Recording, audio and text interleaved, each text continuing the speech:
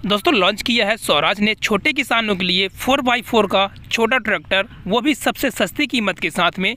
और दोस्तों, सबसे मज़े की बात तो ये है, इस फोर बाई फोर के छोटे ट्रैक्टर पर अब आपको साठ सिफ्ट गियर बॉक्स देखने को मिलने वाला है, जो कि स्वराज अपने बड़े बड़े मॉडलों पर साठ सिफ्ट गियर बॉक्स और फोर बाई फोर का ऑप्शन देती थी।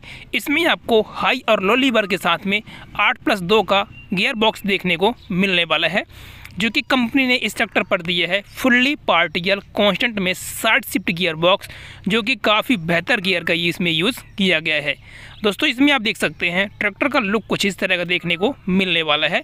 और सबसे मज़े की बात तो ये है, यह ट्रैक्टर आपको 40 एच पी कैटेगरी के अंदर भी 4x4 में मिलने वाला है, जो कि अन्य ट्रैक्टर कंपनियाँ आज तक जो फीचर्स अपने बड़े बड़े ट्रैक्टरों पर नहीं दे पाई हैं, इस छोटे 4x4 कंपनी ने लॉन्च कर ट्रैक्टर को छोटे किसानों का सपना साकार कर दिया है, जो किसान भाई सस्ती कीमत के साथ में फोर बाई फोर ट्रैक्टर खरीदना चाहते थे, यह ट्रैक्टर ले सकते हैं, क्योंकि स्वराज ने इस ट्रैक्टर को लॉन्च किया है चालीस से पैंतालीस एच कैटेगरी के अंदर, जिसमें आपको काफ़ी बेहतर इंजन भी देखने को मिलने वाला है। दोस्तों, कंपनी ने इस ट्रैक्टर पर दिया है 150 एनएम का हाई टॉर्क इंजन जो कि देखा जाए तो 40 से 45 एचपी कैटेगरी के अंदर यह ट्रैक्टर आपको मिलने वाला है। और दोस्तों, मैं बताना चाहूँगा, स्वराज अपने किसी भी मॉडलों पर क्लियर एचपी नहीं बताता है। जैसे कि मान लेते हैं, यह ट्रैक्टर 40 से 45 एचपी कैटेगरी के अंदर आता है तो इसमें कंपनी ने 40 से 45 एचपी दिया है।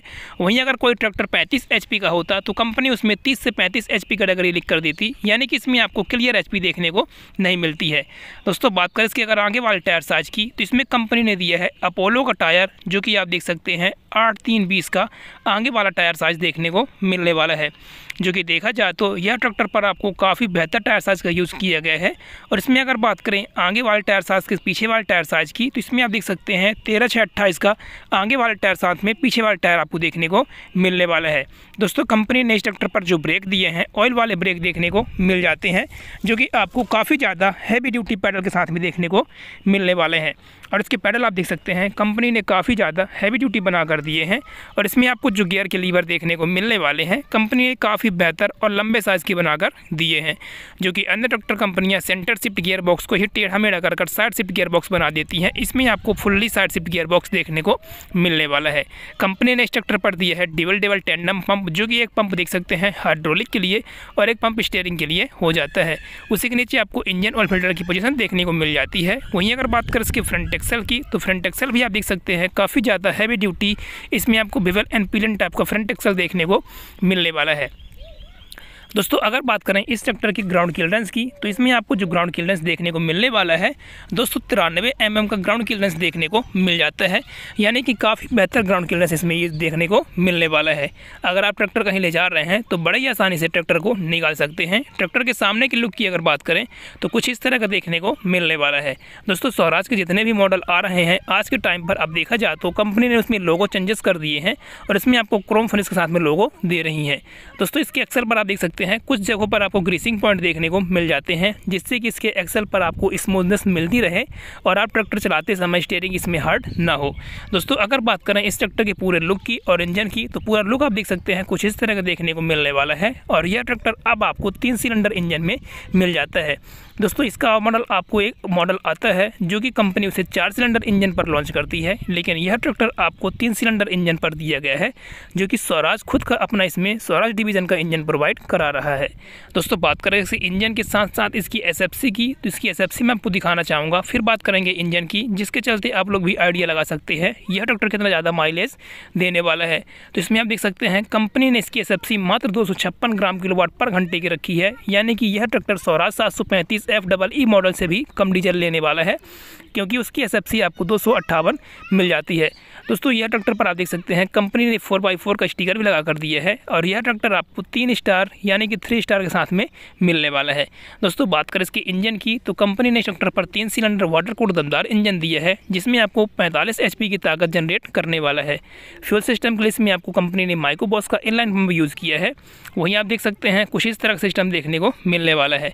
दोस्तों, अगर बात करें इसके टॉर्क की तो मैंने जैसे पहले ही बताया था, इसमें आपको 150 एनएम का हाई टॉर्क देखने को मिल जाता है और इसमें कंपनी ने दिया है तैंतीस सौ सात सी क्यूबिक कैपेसिटी और इसमें आपको इंजन की 2000 रेटेड आरपीएम देखने को मिलने वाले हैं। यानी कि यह ट्रैक्टर इंजन के 2000 रेटेड आरपीएम के साथ में 40 से 45 एचपी की ताकत जनरेट करने वाला है और दोस्तों, इसमें कंपनी ने दिया है थ्री स्टेज वालवाथ टाइप का एयर फ़िल्टर जो कि साइड माउंट आपको देखने को मिलने वाला है। वहीं दोस्तों, अगर बात करें इस ट्रैक्टर की व्हील बेस की तो इसमें आपको दो हज़ार mm का व्हील बेस देखने को मिलने वाला है। वहीं ट्रैक्टर की आपको लंबाई जो मिलने वाली है, चौंतीस सौ mm की मिल जाती है।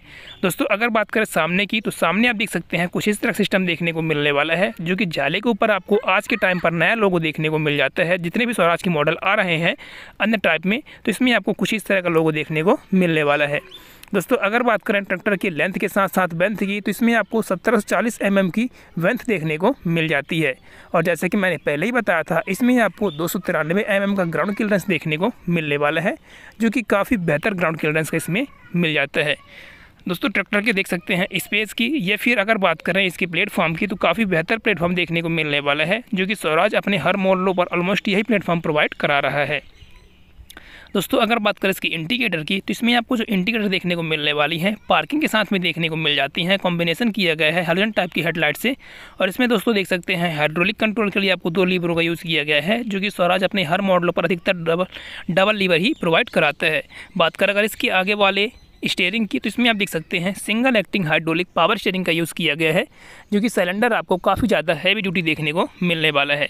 दोस्तों, इसमें अगर बात करें और भी कुछ एक्स्ट्रा फीचर्स की तो इस नए मॉडल पर ऐड किया गया है डिफरेंशियल लॉक जो कि स्वराज पहले अपने बड़े बड़े मॉडलों पर देता था, लेकिन इस छोटे मॉडल पर अब आपको डिफरेंशियल लॉक भी देखने को मिलने वाला है, जो कि स्वराज ने देखा जाए तो 40 एच पी कैटेगरी के अंदर इसी मॉडल पर ही हाइड्रोलिक लॉक के साथ साथ इसमें आपको डिफरेंशियल लॉक प्रोवाइड कराया है, जो कि अन्य ट्रैक्टर पर आपको छोटे मॉडलों पर डिफरेंशियल लॉक देखने को नहीं मिलता है।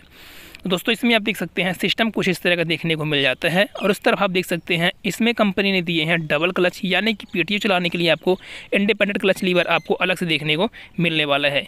तो दोस्तों देख सकते हैं, लुक कुछ इस तरह का देखने को, यह ट्रैक्टर पर आपको मिल जाता है।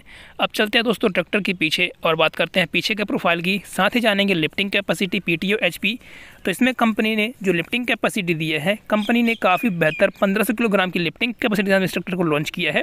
और इसमें आपको जो पी मिलने वाली है, पाँच सौ चालीस मल्टी स्पीड पी और डिवर्स पी के साथ में अड़तीस पॉइंट चार एच की पी पावर देखने को मिल जाती है।